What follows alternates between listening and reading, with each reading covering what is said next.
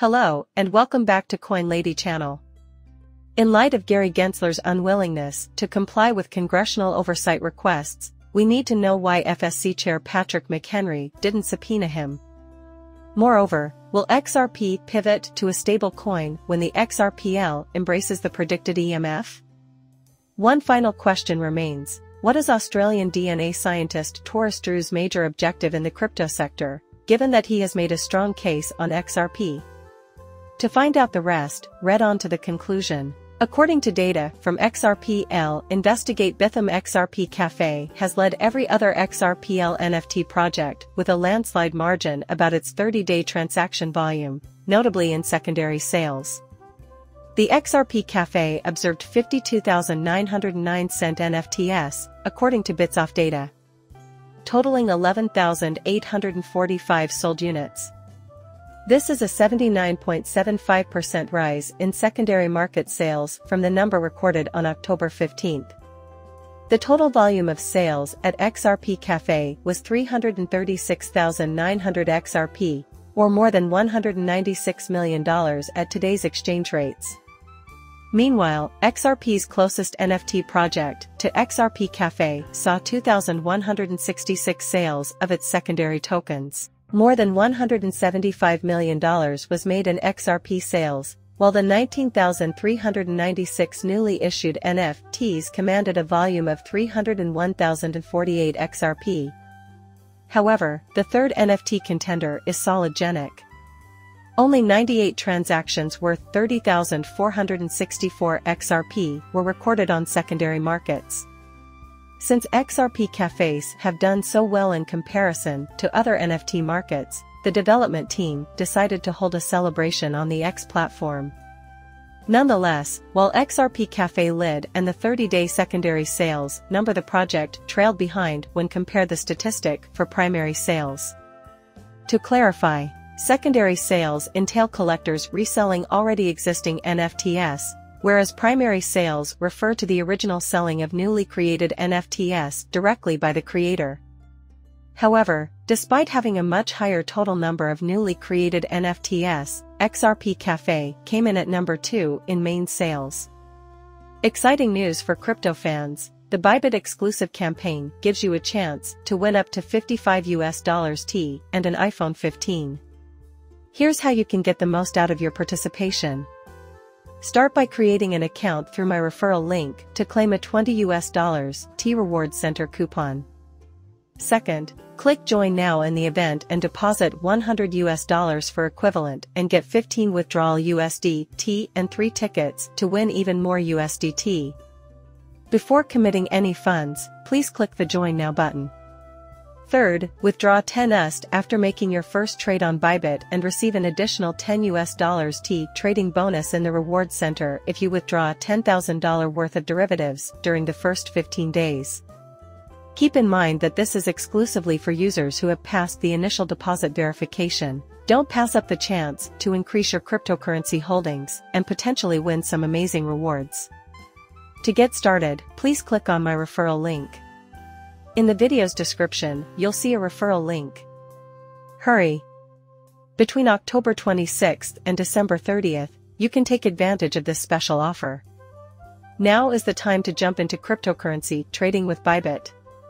John Deaton, an attorney advocating for XRP, has criticized U.S. Representative Patrick McHenry, the committee's chair, for failing to subpoena Gary Gensler, the chair of the Securities and Exchange Commission for failing to comply with congressional oversight requests.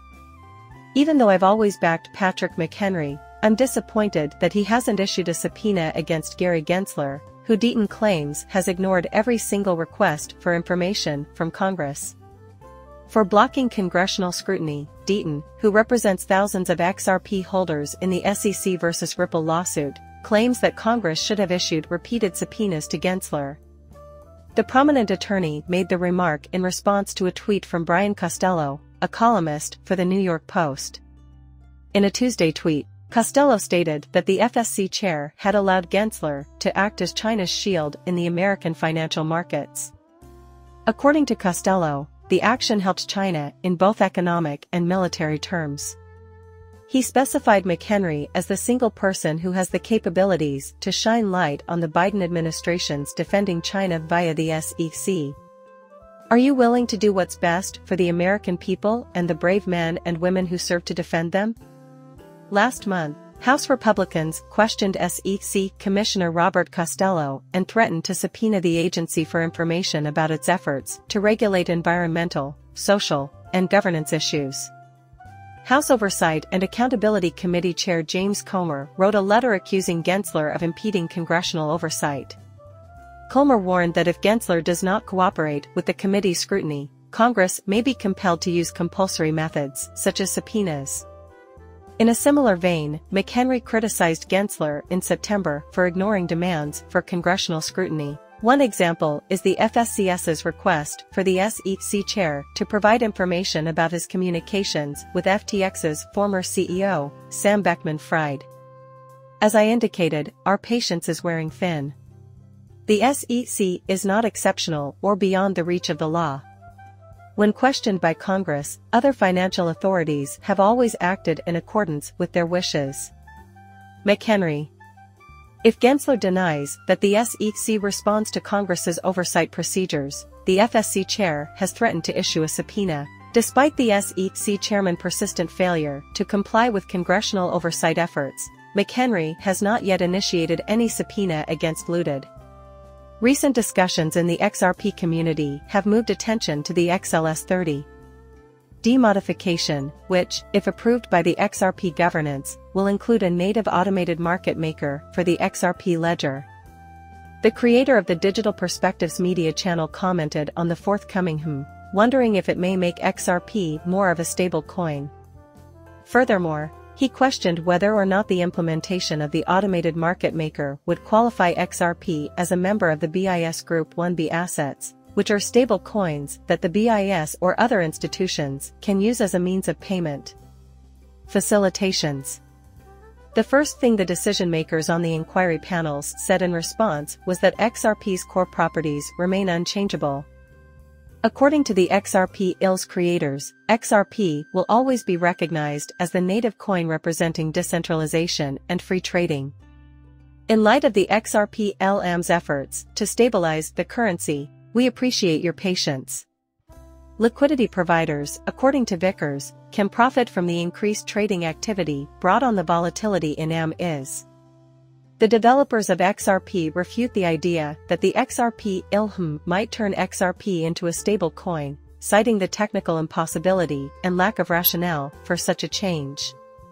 He stressed the AMM's role as an alternative exchange for XRP and XRPL tokens.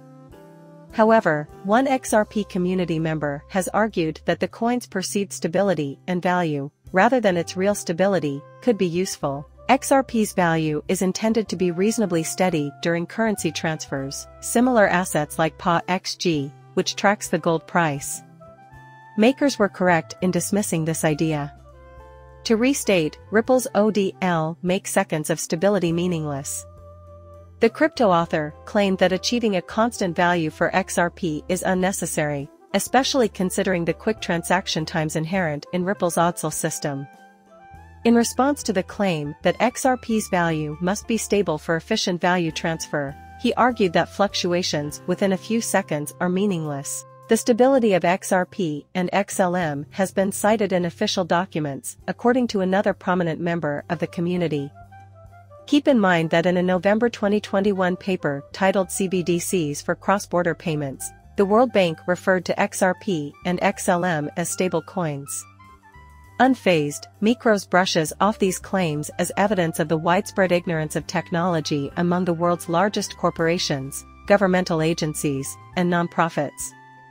He noted that many people still use the wrong names for XRP and the Ripple network.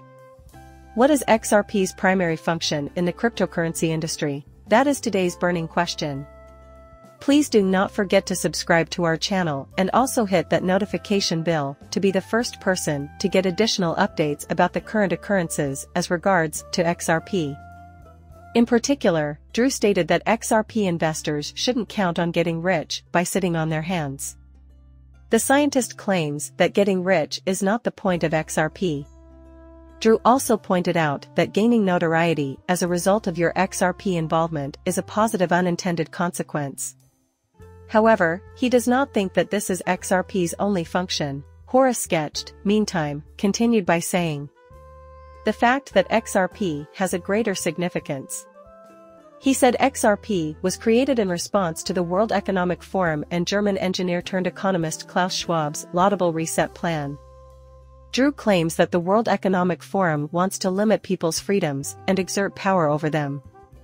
According to him, XRP's main objective is to prevent Klaus Schwab and the World Economic Forum from carrying out a great reset that will enslave and control humanity. The researchers went on to say that a global currency that is both anonymous and decentralized, like XRP, could serve as a deterrent against such plots.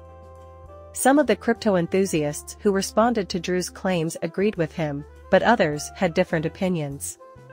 One person argued that if XRP were to make individuals rich, it would bring it in line with more traditional fiat currencies.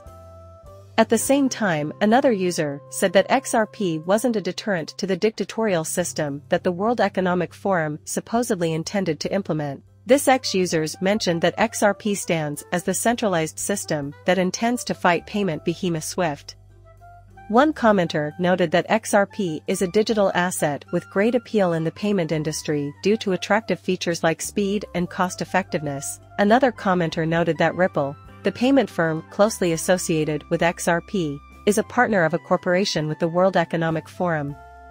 Leaders in the payments industry have predicted that XRP will shake up the status quo of the financial system. Drew's thoughts align with these claims.